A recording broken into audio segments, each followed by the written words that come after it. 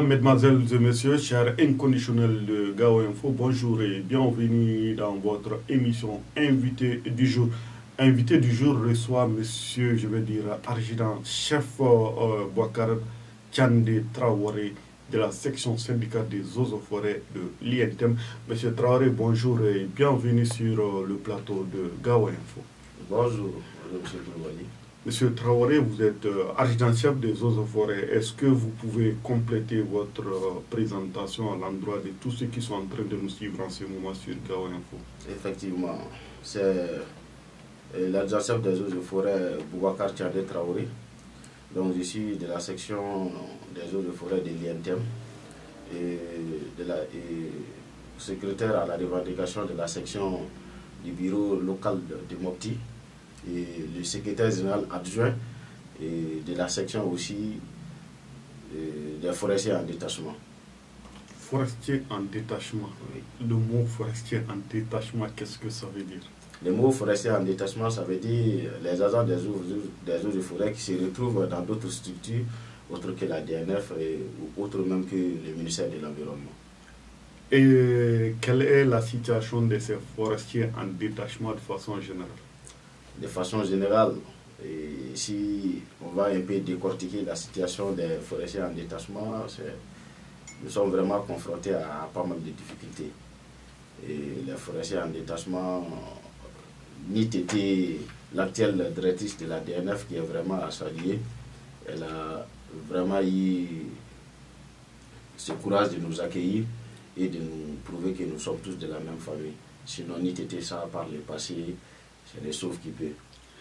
Forestier en détachement, mais est-ce que de façon générale, vous pouvez nous parler du corps des forêts? Qu'est-ce qu'un forestier de façon générale? Merci beaucoup pour la question. Les forestiers, c'est les garants de l'avenir de l'environnement. Parce que qui parle des forestiers parle du maintien de l'écosystème dans lequel nous nous vivons. Donc, euh, les gens pensent que les forestiers n'ont que des objectifs euh, répressifs. Non, c'est pas ça. Moi qui vous parle, je suis chef de zone de l'Office de développement de la pêche et de l'aquaculture dans le delta intérieur du Niger. Donc nous avons des objectifs, euh, des multiples objectifs. Il y a des forestiers à la DNP, des forestiers au niveau de l'IR et il y a des forestiers au niveau de l'agriculture. Donc nous avons des objectifs vraiment divers et sans oublier les, forestiers au niveau de la DNF. Maintenant, euh, le rôle même des forestiers, comme je, vous ai bien dit, c'est le maintien et l'équilibre de l'écosystème. Si nous essayons de voir euh, les points actuels des écosystèmes du Mali, c'est déplorable. Vous-même, là, il faudra que en agir comme de la Kamangalari, à il y a des zones actuellement où il y a des, des, espèces de poissons qui sont en voie de disparition. Donc tous ces trucs-là font partie des objectifs même d'un forestier, c'est-à-dire le maintien de l'écosystème. Et qui parle de l'écosystème, il y a tout. Il y a les côtés aquatiques, il y a le côté forestier. Moi qui vous parle, je suis spécialiste en aquaculture.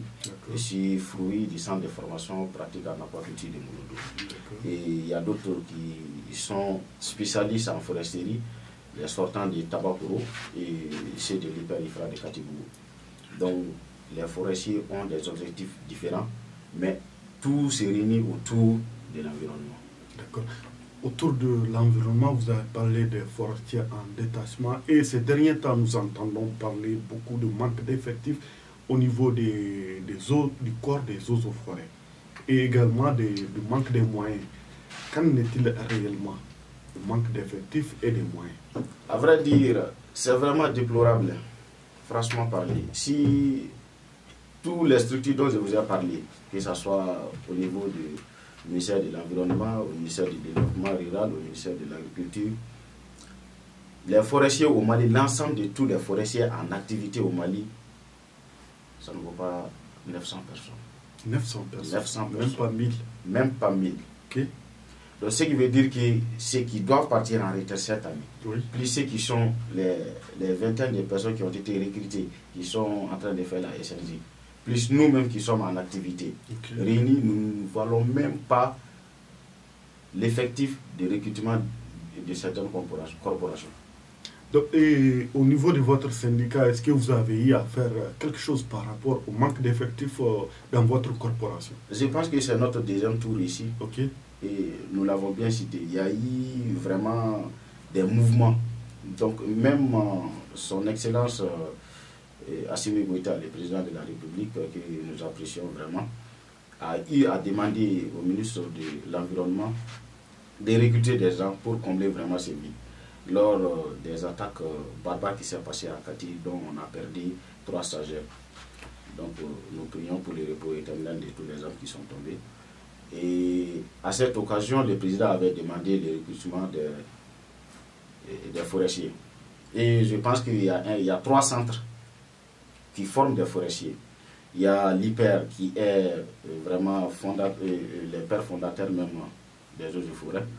Il y a le centre Zandigi Keita, le centre de formation forestier Zandigi Keita de Tabakoro, qui forme des spécialistes en foresterie. Et il y a le centre de formation pratique en aquaculture de Molodo, qui forme aussi des spécialistes en aquaculture.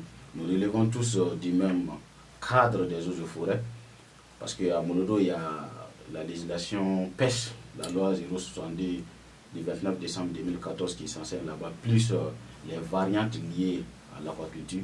Donc le côté eau s'enseigne là-bas, et à Tabakoro ainsi, et à l'hyper aussi. Mais si nous essayons même de recruter, de recruter tous ces diplômés sans emploi, ici, de ces trois grands établissements, ça ne va pas combler les vides. Le vide eau, en termes de chiffres, vous êtes en manque de combien de personnes pour combler un peu le vide dont vous parlez? Vraiment, pour estimer ça, imaginons un peu le nombre d'hectares de forêt classées. Imaginons un peu la distance du fleuve Sénégal et du fleuve Niger. Et voir que tu peux te retrouver avec un chef d'antenne pour deux, trois communes. Donc ça ne va pas. Mais par rapport à la multitude de, syndicats au niveau du corps des eaux et forêts, vous avez une multitude de, syndicats.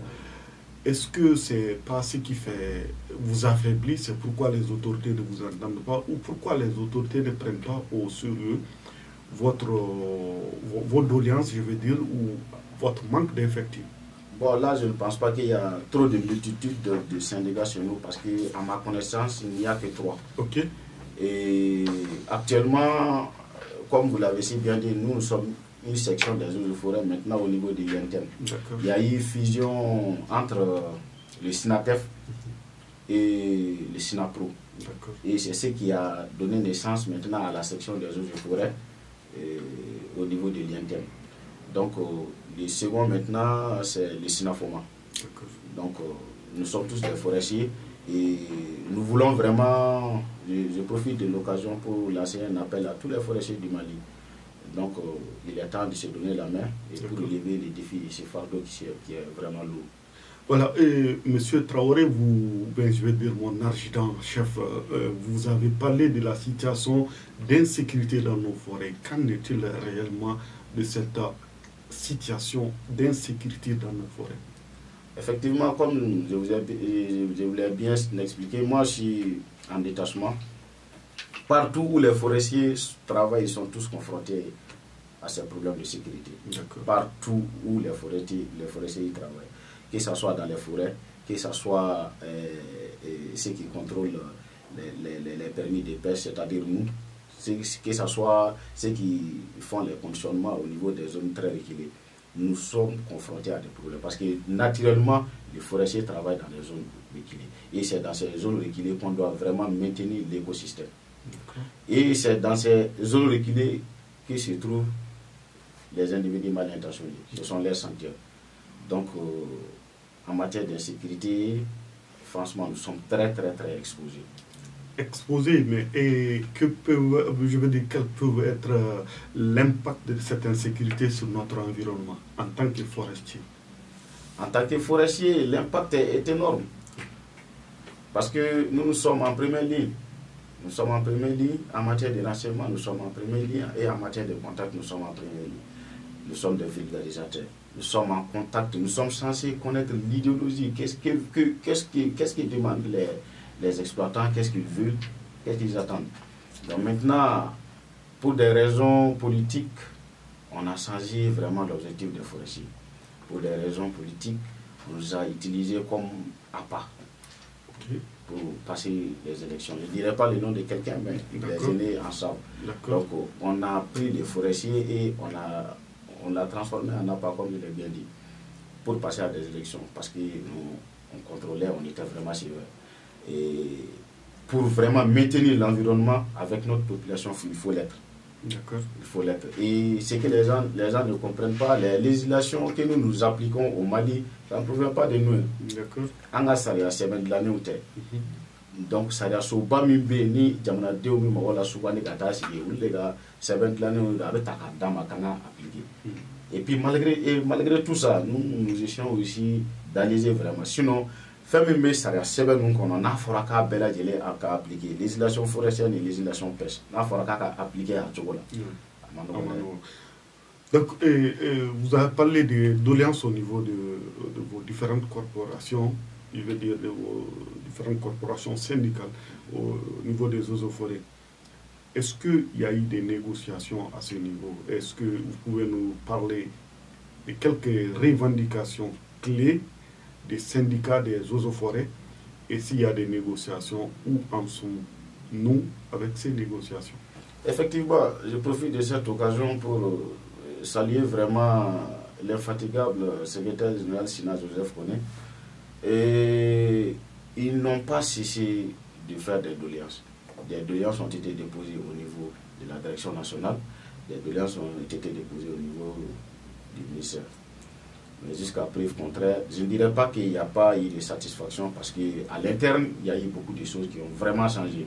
Nous saluons vraiment la directrice et nous saluons vraiment les administrateurs qui. Les changements, est-ce que vous pouvez nous dire quelques changements au niveau de, des eaux et forêts? Au niveau des eaux et forêts, côté matériel, côté habillement, vraiment il y a eu des changements.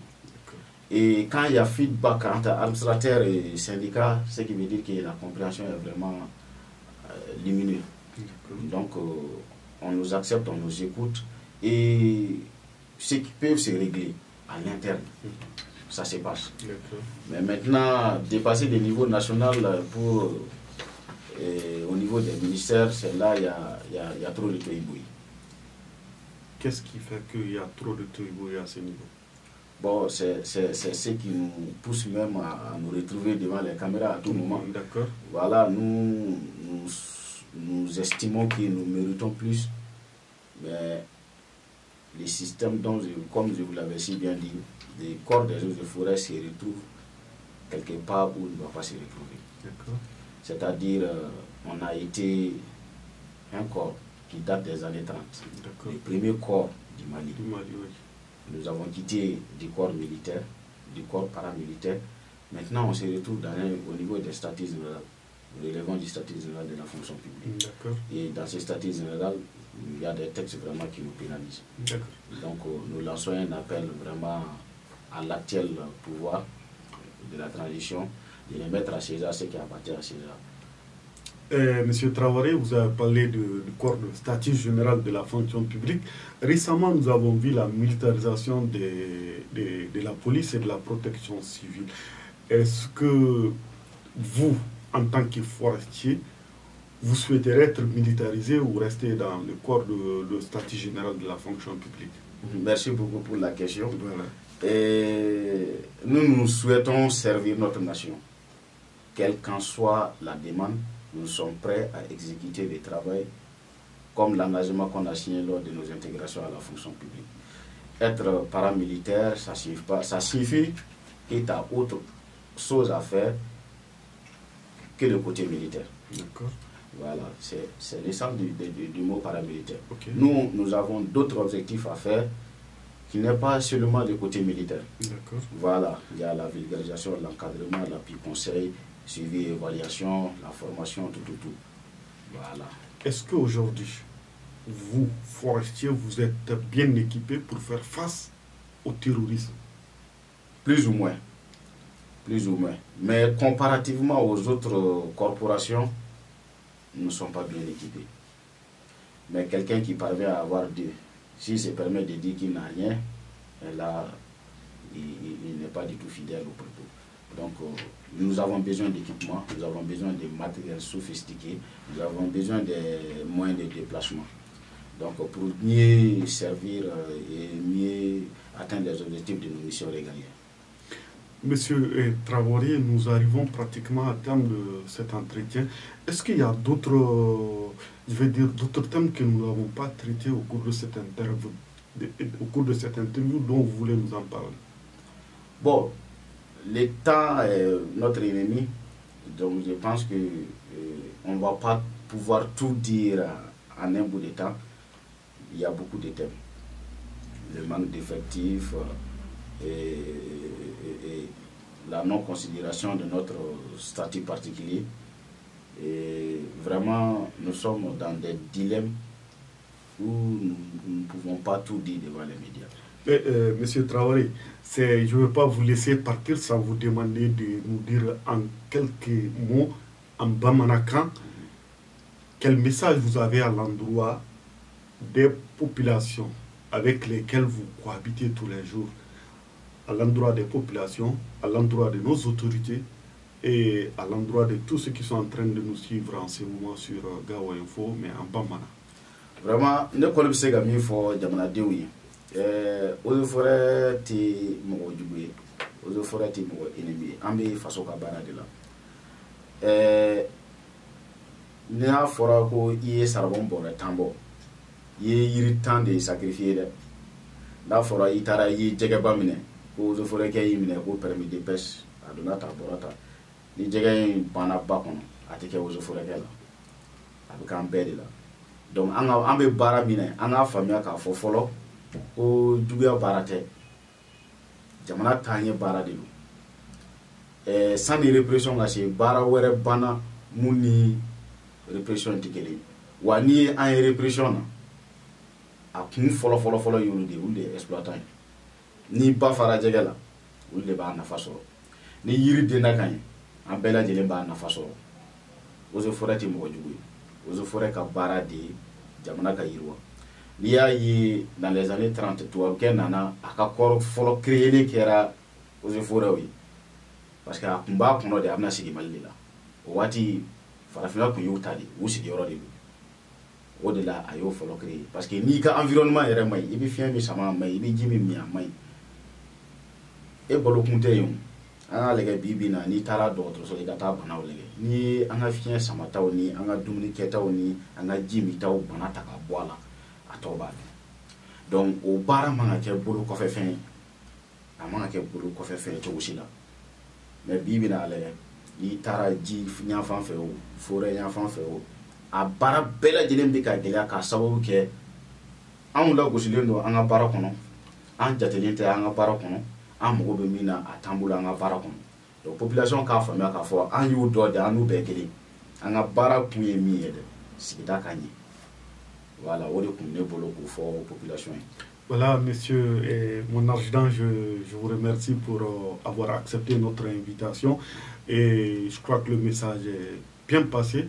On se donne rendez-vous très prochainement sur euh, Gawa Info avec euh, notre invité du jour. Je vous dis comme ça, au revoir et à très bientôt. Bye. Merci.